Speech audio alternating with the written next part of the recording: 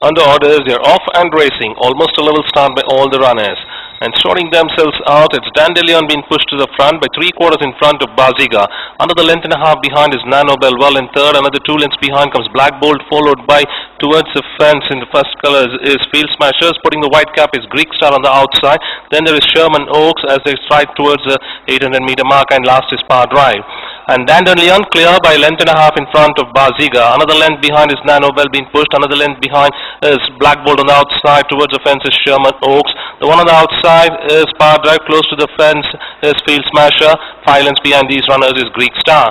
As they start to negotiate the turn now, Dandelion comes in home first by three quarters in front, now being tackled on the outside by Baziga.